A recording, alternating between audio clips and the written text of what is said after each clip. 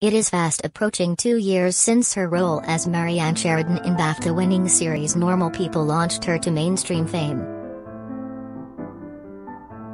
And for Daisy Edgar Jones, this life-changing milestone in her career was one that was met with conflicting emotions as she navigated her newfound fame during the first lockdown in April 2020. The 23-year-old actress disclosed how the out-of-body situation left her feeling a wee bit lonely to Wonderland, as she pulled off a series of stunning looks for a new shoot. Admitting she is still trying to unpick the unprecedented time when normal people soared to its acclaim, she said, it was quite out of body.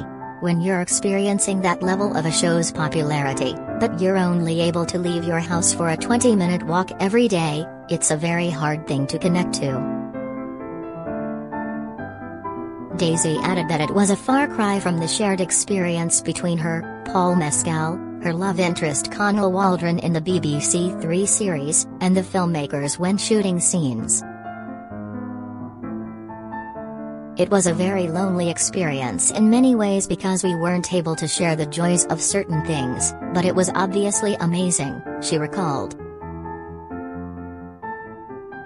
I feel like in some ways the pandemic helped our show to reach even further than it may have, but it was also surreal and at times a wee bit lonely.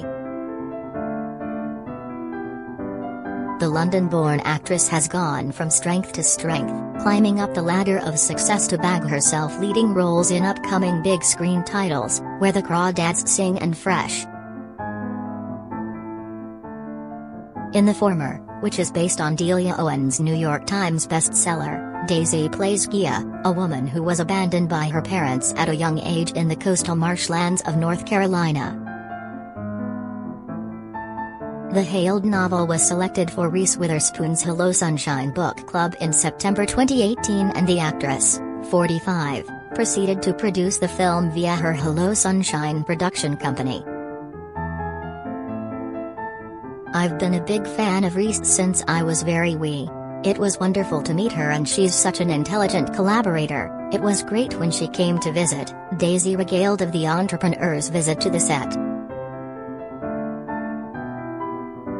Filming scenes in Vancouver for upcoming thriller Fresh was the first time Daisy worked properly from home which, along with other filming commitments in the US and Canada, made her come to a realization. When I was away I was getting very homesick, so I watched the entire two seasons of Ted Lasso and I actually shed a tear when he ate a hula hoop.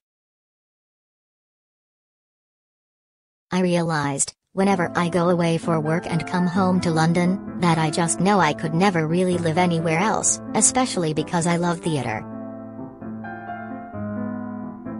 I don't know, Terry's something about all theatre here and all our pubs, and the love of a Sunday roast that just makes me feel like I can never not be in London, she admitted.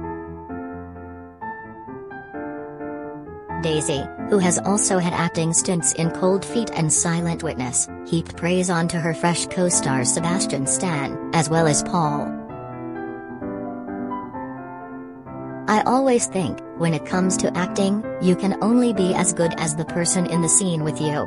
It's such a privilege to work with wonderful actors like Paul, obviously, and Sebastian similarly, she gushed. In a final highlight of the sit-down chat, an earnest Daisy admitted she prefers working in accents as opposed to her own. I hate doing stuff in my own accent because always feel self-conscious, she revealed.